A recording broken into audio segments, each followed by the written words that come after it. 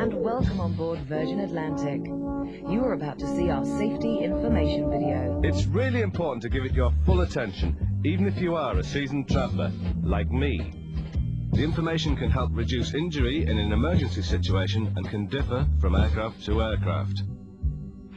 First, all baggage should be stored securely, either in the overhead lockers or under the seat in front of you. All aisles and exits should be kept clear. As we are about to leave, you need to fasten your seatbelt. To fasten the belt, push the two metal ends together until they click. Then pull the strap until the belt is tightly fastened around your hips. To release the belt, lift the buckle. To loosen the belt, pull on both sides of the buckle. This is a non-smoking flight, and it's expressly forbidden to smoke anywhere on the aircraft, including the toilets, which are all fitted with smoke detectors.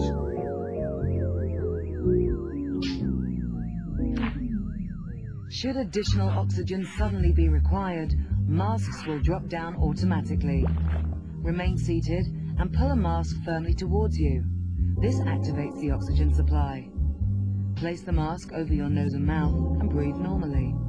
You may need to adjust the elasticated straps. You should fit your own mask before helping others. Your life jackets can be found either under or between your seats. Please refer to your safety card for the exact location. Break the seal to remove it from the bag.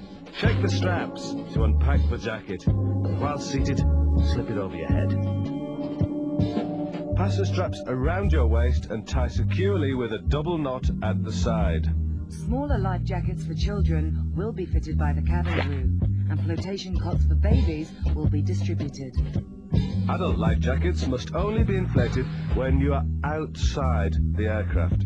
Pull down firmly on the tag. There is a light and a whistle for attracting attention and jackets may be inflated or topped up by blowing into the tube at the top. In an emergency landing, you must use the brace position to help prevent injury. Make sure your seatbelt is tightly fastened. Place both feet firmly on the floor and slightly under your own seat. Place one hand over the other on the back of your head, bend forward and tuck your elbows outside the knees. If possible, rest your head on the seat in front. In the event of reduced visibility in the cabin, follow the lights along the aisle. When they stop, you've reached an exit. Should you have to open the door, you will need to either lift the handle up completely or rotate the handle in the direction of the arrow. As the doors open, the slide should inflate automatically.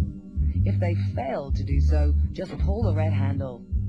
Please refer to your safety card for full instructions on operation of doors and slides, as these do vary. When using the slides, please make sure you remove your high-heeled shoes. Now please check that your seatbelt is tightly fastened.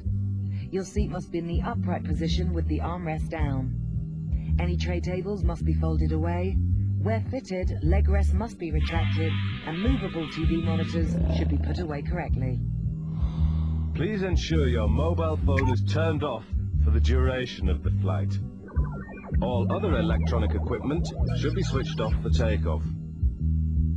Your nearest exits, which may be behind you, are being pointed out now by your cabin crew. Don't forget, your safety is our number one priority, and the crew are there to help you if you do not understand any of the procedures. Finally, we ask you all to please study the safety card which is in your seat pocket. It gives full information on the operation of the exits and the locations of life jackets, slides and rafts on this aircraft. Thank you for your attention. We hope you enjoy your flight with Virgin Atlantic.